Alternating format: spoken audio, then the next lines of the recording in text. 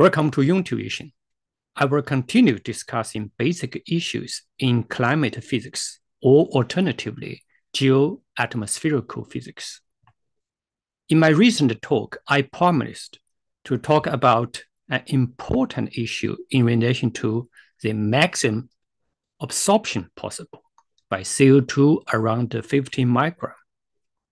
Today, I'm going to discuss this issue in depth.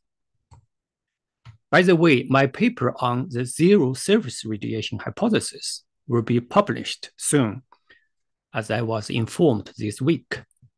That will be our talk in the near future. Without further ado, let's go and have a fun.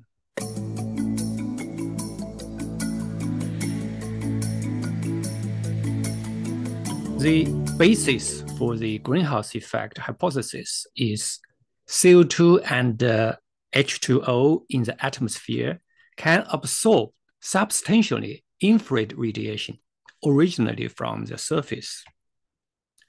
Although the take for granted surface radiation has been recently challenged, as I will discuss next time, the myth of CO2 saturation effect remains to be explained in relation to quantum mechanics and CO2 energy levels associated with its bending, vibration, and rotation.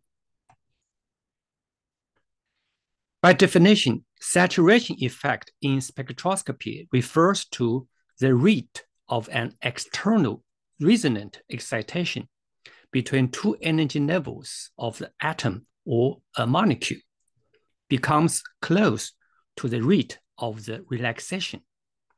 For CO2 molecules in the atmosphere, the relaxation process can be achieved either by spontaneous emission or radiation heating just to make the molecule around warmer. Why do they have to relax? Because they absorb infrared absorption. As a result, CO2 molecules are in so-called excited state. When relaxed molecules are in thermal equilibrium with its environment, the population distribution in their energy diagrams obeys the Boltzmann's law, as shown in this diagram. As you can see, the population in lower level is more than that in a higher level. When CO2 absorbs infrared radiation, the population difference between two energy levels is reduced slightly. But, but if the radiation intensity is too high, the population difference between the two energy level would be eventually approached to zero. No more absorption will occur, no matter how high the CO2 concentration is. This is called saturation. Nevertheless, the infrared radiation in the atmosphere can never be as strong as to cause saturation effect. Therefore, it is incorrect to use the term CO2 saturation in discussing the greenhouse effect. Naturally, there are nowhere near CO2 saturation. Who said that? Yes, Zhong and uh, from the UK wrote so in 2013. It implies that the global warming due to increasing CO2 would continue forever. But wait a moment. This is just a part of the story. It must be made clear that the real issue here is a scarcity rather than oversupply in infrared radiation. Sounds like economy in society. Yes, it would be helpful for you to understand this issue by this analogy. To be specific, as the CO2 concentration increases, there would be eventually a shortage of infrared radiation near the center of the CO2 absorption band at uh, 15 micron. As a result, the natural channels and their proportions of infrared absorption by each CO2 molecule would be disturbed, just as a gas pipe between Russia and Germany was cut off. So far, many people have argued that although there is apparent scarcity near the center called Q band, the side bands on each side, called P and R respectively, would be capable of absorbing infrared radiation. So business would be as usual without a Russian gas supply. That is why the logarithmic formula has been used to calculate radiative forcing, which apparently will increase forever. That's why I have been drawing people's attention to the same mistake some high profile climate change deniers also made. To understand this mistake, let's have a close look of the energy diagram of CO2 molecule and related transitions that are responsible for the detected CO2 absorption peak centered at 50 micron.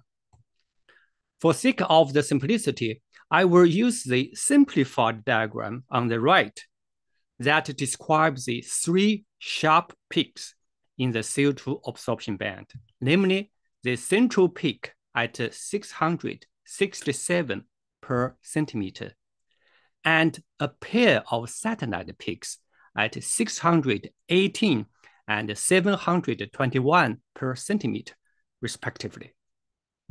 Notice the two side transitions are dependent on the central absorption between the two lower energy levels, which determines the characteristic profile of CO2 absorption spectra when there is no scarcity in infrared radiation near 15 micron.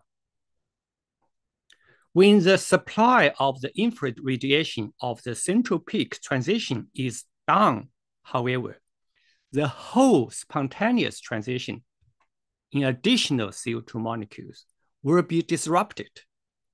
So far, they calculated side bands absorption based on HITRAN and invoking RTE just keeps logarithmic increasing with the CO2 concentration. But it is not true. Why? It is simple.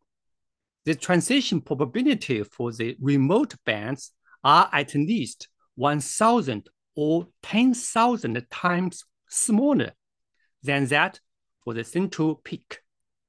How could one expect by making the current CO2 concentration in the atmosphere double, triple, quadruple, or septuple or octuple make any detectable difference in the CO2 infrared absorption.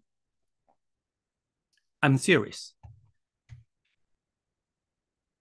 As I mentioned before, many climate researchers often use a mixed scale to illustrate the CO2 absorption to scare people.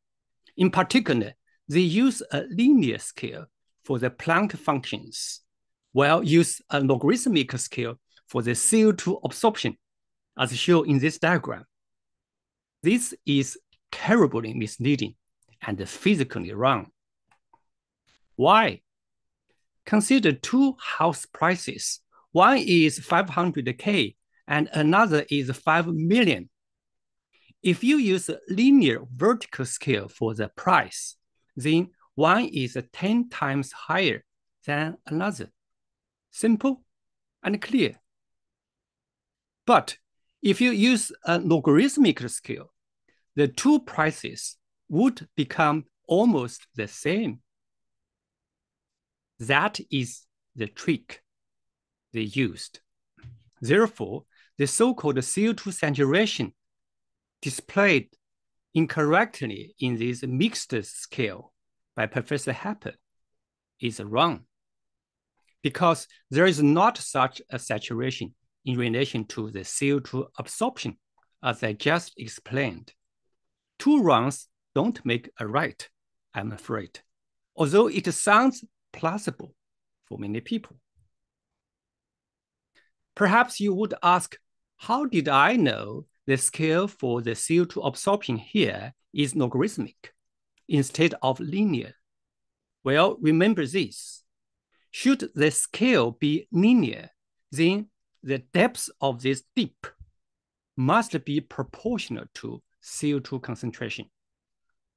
In other words, spectral intensity is always proportional to the sample concentration, unless specified otherwise. I hope this talk would help you to understand why CO2 infrared absorption in the atmosphere is limited by the infrared radiation supply, which has nothing to do with saturation effect. More importantly, it doesn't matter how much CO2 can absorb because the Earth knows how to regulate its infrared radiation by adjusting OLR or the outgoing radiation to space based on energy balance condition at the top of the atmosphere instead of any human's command. Thank you for viewing. Please let me know if anything unclear. See you next time.